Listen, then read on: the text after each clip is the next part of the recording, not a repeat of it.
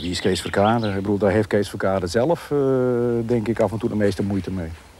Wat ik, wat ik dus wel, wat ik dus uh, in mezelf ervaar, dat is dat ik aan het werk ben, alle rust zelf ben. En als ik dus niet werk, dan, uh, dan is het een grote zenuwlei. Ja. Dat kan ik je garanderen.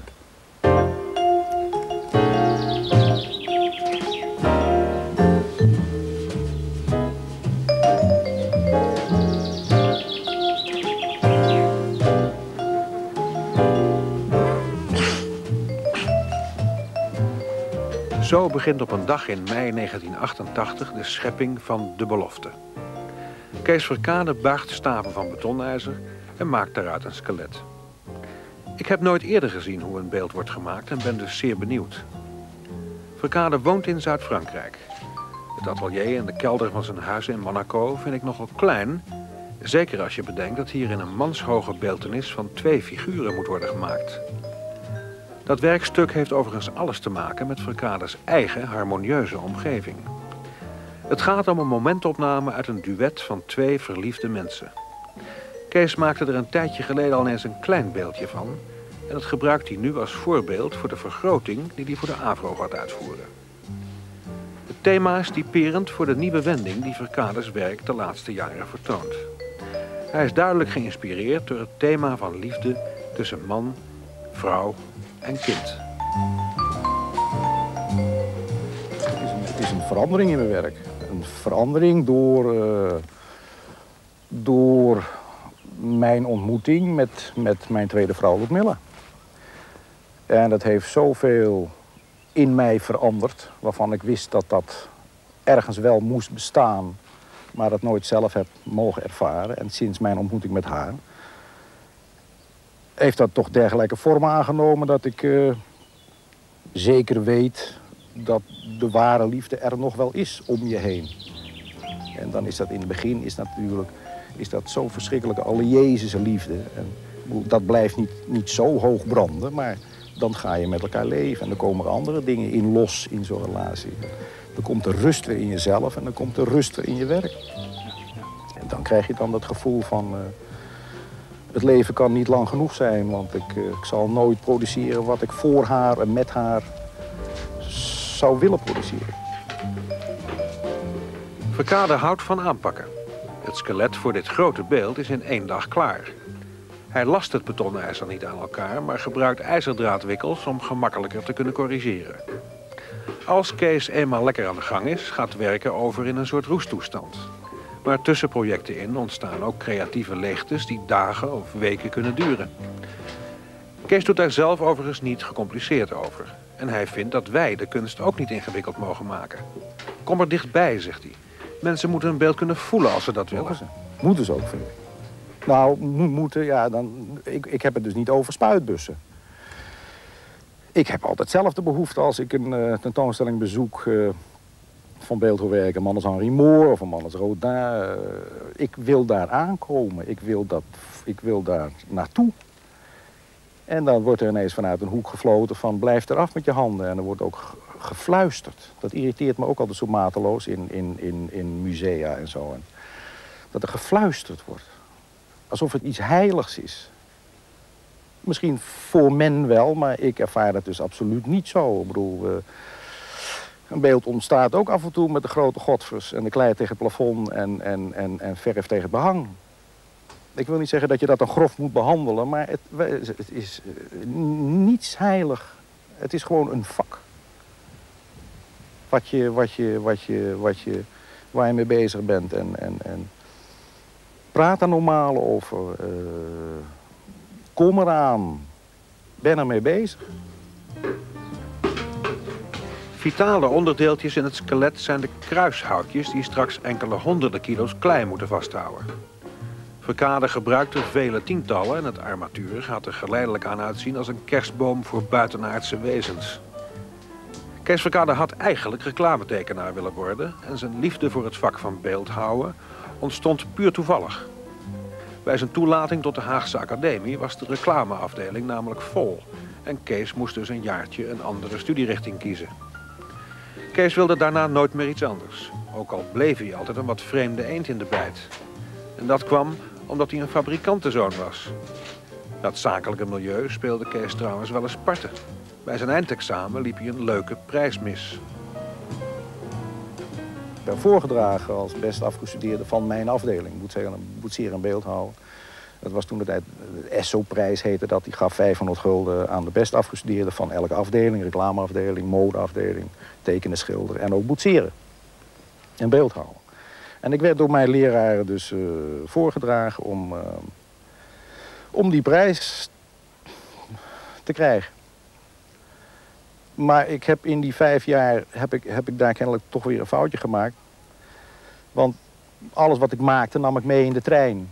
Ik, ik reisde in de trein van Heemstede naar Hout, naar Den Haag, elke dag op en neer. En alles wat ik maakte en afgegoten had in gips of wat dan ook, nam ik mee in de trein. Maar ik heb een grote, groot borstbeeld gemaakt van een model.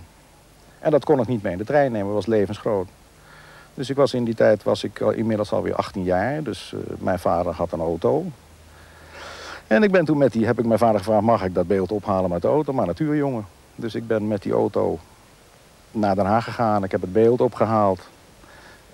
En dat hebben kennelijk uh, een paar heren gezien. Dat ik met een auto kwam aanrijden. En op, daarom, dat was ook de grond dat ik die Esselprijs niet kreeg. Want ik had dat niet nodig. Want mijn vader had een, een merkauto.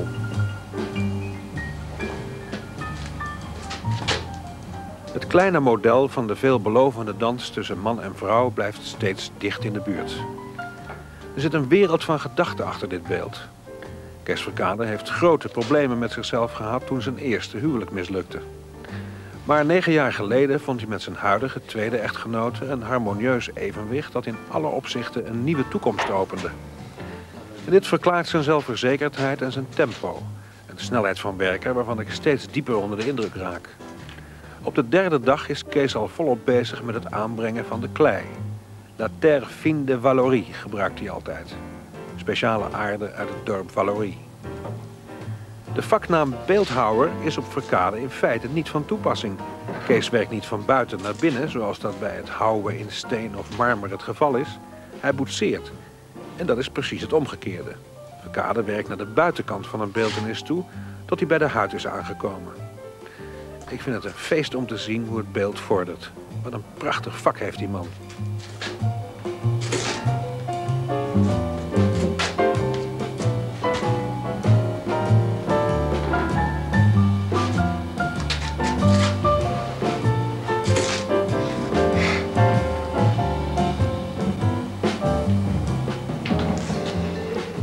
Echtgenote Loepmilla Afrikaande blijft met dochtertje Kashmira meestal wat bescheiden op de achtergrond als Kees aan het werk is.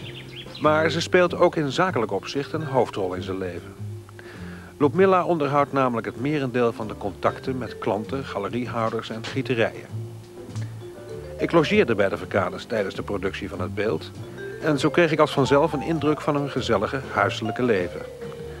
Op één punt heeft Kashmira strenge ouders. Ludmilla en Kees houden allebei goed in de gaten wat er op de televisie komt als hun kind kijkt. Want ze maken zich grote zorgen over seksisme en agressiviteit. Het is de hele mentaliteit om je heen. Of de hele mentaliteit die, die, die vind ik, gefrustreerd wordt door, door, door, door de handel, door de vuiligheid. Uh, ik heb, uh, nogmaals, ik ben een groot voorstander van, uh, van de liefdebedrijven. Maar dat doe ik dan wel in mijn eigen bed met mijn, met mijn kamerdeur op slot. En dat gaat niemand iets aan. Maar als je op elke, elke hoek van de straat momenteel de erecties en de zaadlozingen je tegemoet komen... daar leid je niet onze kinderen in de juiste richting mee, vind ik. Want je moet dan niet zeggen waar zijn wij mee bezig... maar je moet je dan trachten te verplaatsen, vind ik in de gedachte van zo'n kind. Wat zou zo'n kind... Wat zou er in zo'n kind omgaan als zij ziet dat wat grote mensen... Hè, voor, voor haar, haar vader en moeder, die leeftijdsgroep... die dat hebben geproduceerd en die mij dat voorschotelen. Je moet je verplaatsen in zo'n kind.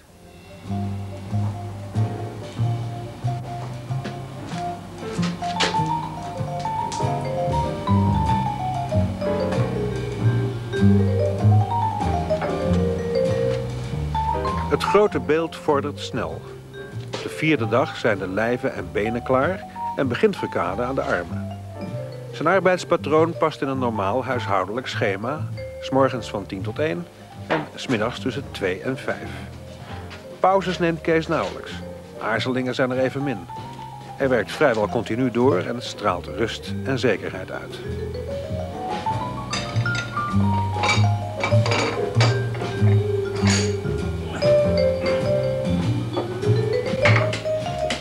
We leren elkaar intussen een beetje beter kennen en Kees praat tijdens het werk openhartig over zijn eigen jeugd. Een makkelijk jongetje was hij niet. Hij paste niet best in het onderwijssysteem omdat hij liever keek of luisterde dan teksten of sommen in zijn hoofd te stampen. Kees sloeg bovendien snel van zich af en op zijn zestiende werd hij van school gestuurd na een vechtpartij met de directeur. Zijn ouders wisten zich jarenlang geen raad met hem tot hij op de Haagse Academie een doel in zijn leven vond.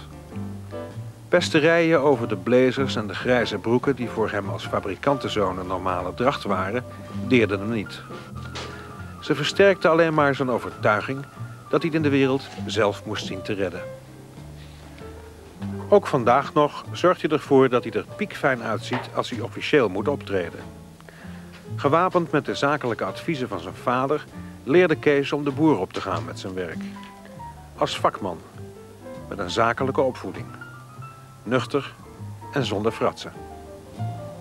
Die capsones tegenwoordig van ik kom van de academie af, ik ben, ik ben kunstenaar. Dat moet je dus echt vergeten. Uh, je, je, verstaat het vak een beetje. Je, je weet van een portretje boetseren, je weet van een modelletje boetseren, je weet van een vrij ontwerpje af. Je weet van letterhakken af. Maar dat zijn de basisdingen die jij voor je vak nodig hebt. En die... Uh, nou ja, dat, het vak verstond ik, maar niemand kent je. Dus je moet echt gewoon, je moet de boer op, want uh, er is geen mens die naar je toe komt en zegt... Kees Verkade, kan ik beeldjes van je kopen? Want, want in eerste instantie moet je van het hele schoolse af, van die twee leraren af. Die gewoon vijf jaar lang hun ideeën bij jou erin gebracht hebben. En dan moet je eerst vanaf. En dat heeft zeker twee jaar nodig. Dus na zo'n academie, ja, ik wilde toch wat verdienen. Ik heb daarbij wel opdrachtjes gehad, letterhakken en, en, en, en, en eh, naamplaatjes hakken voor mensen. En ook af en toe wel eens wat verkopen. En rijksopdrachtjes gehad. Maar er was geen, ja, ben toen een week gaan werken bij een, bij een, bij een steenhouwerij in Haarlem. En dat heb ik inderdaad maar een week volgehouden.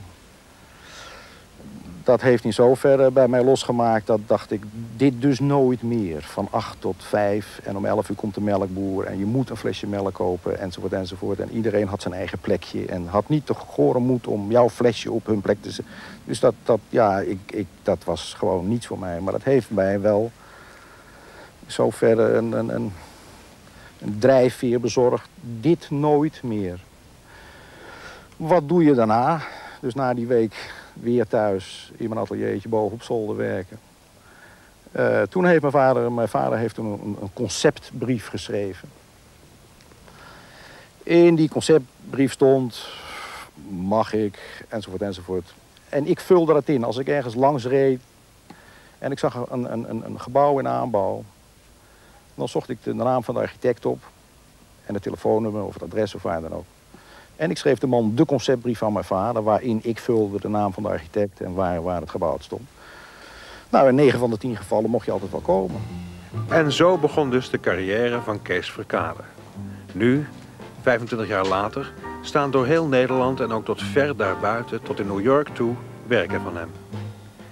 Kees droomt van een beeldentuin over zijn huidige thema liefde en beweging in de omgeving van Haarlem. Er zijn plannen te over. Hij hoopt maar dat hij de tijd krijgt om ze allemaal te verwezenlijken. Met en voor Ludmilla, de vrouwenfiguur die in al zijn werk herkenbaar is.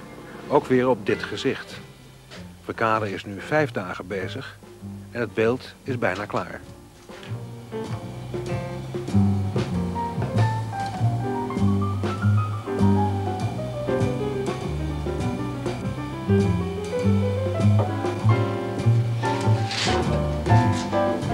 28 mei, 16 dagen nadat de eerste staaf betonijzer voor de belofte werd gebogen, kan een delegatie van het AVRO-bestuur naar Monaco overkomen voor de gebruikelijke officiële goedkeuring. Verkade vertelt de AVRO-bestuurders nog eens hoe blij hij was toen er een opdrachtgever kwam die zijn idee in vergrote vorm wilde aanschaffen. Het is voor een beeldhouwer een veel te groot financieel risico om werkstukken van deze omvang voor eigen rekening te maken en dan maar af te wachten of er een koper komt. Verkade legt nog eens uit dat de begrippen beweging en harmonie die uit het beeld naar voren komen ook goed van toepassing zijn op een bedrijf. De zaken moeten goed geregeld zijn, want anders draait de winkel niet. De bestuursleden reageren enthousiast op zijn schepping. Penningmeester Wilco Meijer vertolkt het algemene gevoelen als volgt. We hebben er nu met z'n allen een paar keer omheen gedraaid. We hebben het van alle kanten bekeken. En dat was niet omdat we nog twijfel hadden of het wel mooi was... of we het als AVRO graag zouden willen hebben. Maar het was om nog eens eventjes te zien dat een heerlijk beeld dit wordt. En we zijn er erg blij mee. En we hopen dat als het uiteindelijk in zijn situatie op het AVRO-terrein staat... dat het dan net zo mooi is als de indruk die het op ons maakt. We hopen dat het een succes wordt. Hartelijk dank. Dank.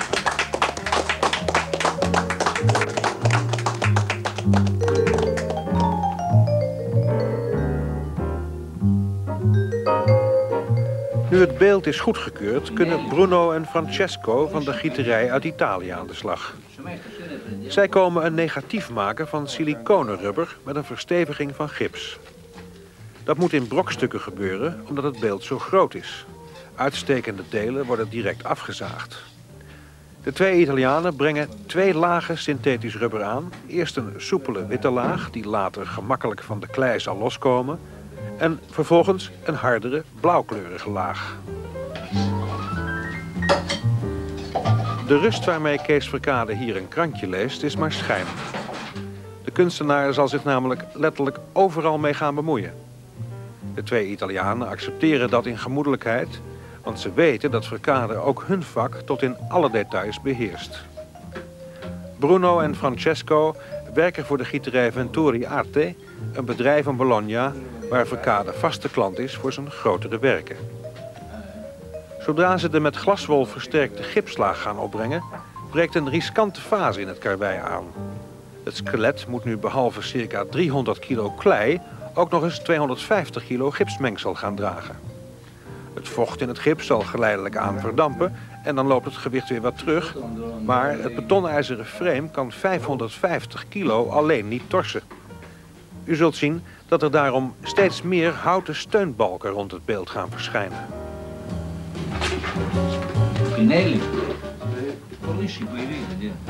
De belofte blijft een uniek exemplaar. Dat betekent dat er op deze grootte maar één afgietsel van zal mogen bestaan. Vermenigvuldiging van kunstwerken plaatst artiesten overigens voor een gewichtige keuze. Dat geldt ook voor Kees Verkade.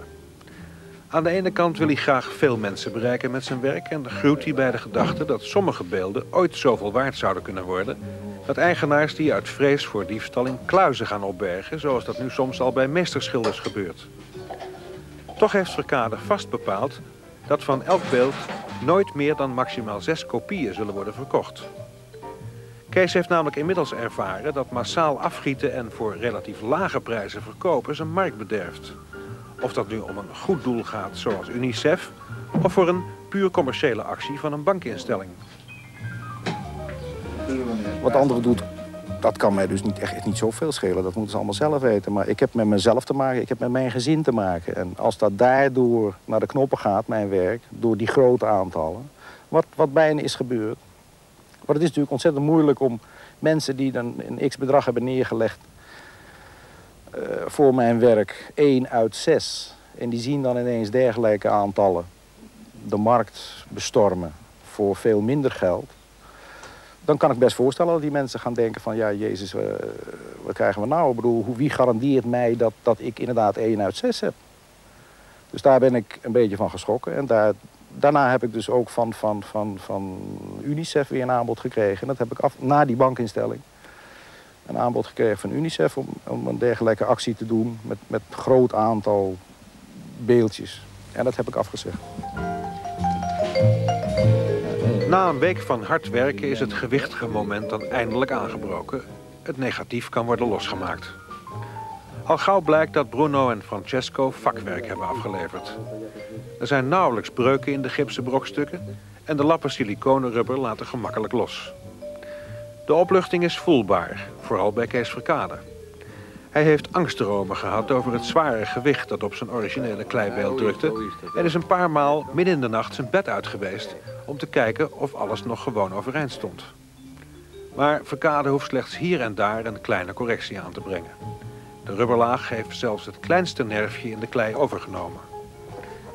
Met de inspectie van alle brokstukken gaat een volle dag heen. Bruno en Francesco zullen alles meenemen naar de gieterij in Bologna... waar zich de laatste fase in de schepping van de belofte zal afspelen. Oplettende kijkers die dat proces nog niet kennen... zullen zich inmiddels hebben afgevraagd wat je aan moet met rubber... omdat het beeld toch uiteindelijk uit 1200 graden heet brons zijn definitieve vorm zal moeten krijgen. En hier is de oplossing van de puzzel. In de gieterij maakt men uit gips en rubberlagen een tussenpositief van was. Dat tussenpositief wordt in gedeelte in een speciaal mengsel gedoopt... waardoor broksgewijs weer een nieuw negatief ontstaat. Hoe dat gebeurt, ik kan het u helaas niet laten zien... maar dat is een goed bewaard bedrijfsgeheim van deze Italiaanse gieterij. Het gaat in elk geval om glashard materiaal dat wel bestand is tegen het hete brons. Eerst moet de wasser dan nog uit en dat gebeurt in een oven waarin de onderdelen van het eindnegatief volledig worden drooggestookt. Pas dan komt men aan het gieten toe. Dat is altijd weer een riskant moment. Een paar maanden geleden nog zijn twee medewerkers van Venturi Arte in het ziekenhuis terechtgekomen nadat een van de gietvormen overkookte.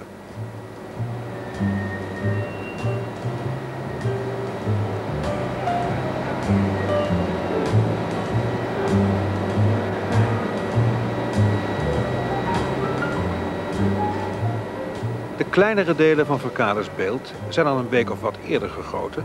En dat geeft Kees de kans om vast het een en ander aan de afwerking te gaan doen, terwijl de grotere brokken afkoelen. Er gaat veel tijd en aandacht zitten in het bijwerken van allerlei kleine beschadigingen. De grote bronzen brokstukken komen later tevoorschijn uit een compacte stellage van stalen ringen en Brusselse aarde. Een constructie die noodzakelijk is om explosiegevaar te vermijden. Als leek sta je verbaasd over het geweld van hamers en boren dat met dit alles gepaard gaat. Maar uiteindelijk blijkt dat alle onderdelen van het beeld gaaf uit de gietvormen zijn gekomen. Verkade kan terug naar het isolement van huis, tuin en atelier. Denk niet dat hij eerst een tijdje rust gaat nemen. Daarvoor borrelen te veel nieuwe plannen in zijn hoofd. Het wordt te kort. Voor mijn gevoel, uh, ik ben toch dik, mag je wel zeggen, over de helft heen. En de tijd wordt te kort voor mij om, om te produceren. Ik wil produceren en ik wil dus niet meer in de war gebracht worden door een of andere partij of uh, waardoor ik gewoon iets waarmee ik bezig ben niet meer kan, kan volmaken, niet meer kan, kan realiseren. Er zijn momenten geweest in het laatste jaar inderdaad dat ik eh, als ik iets zeker wist wat ik doen ging... dat ik daar te lang mee gewacht heb. En dan gaat het enthousiasme eruit, voor mezelf. En hier eindigt mijn verhaal over de schepping van de belofte. Een nieuwe mijlpaal in de wereld van Kees Verkade. Persoonlijk hoop ik van harte dat het Kees en ons gegeven is... dat zijn creativiteit en productiviteit nog vele jaren op dit hoge pijl zullen blijven.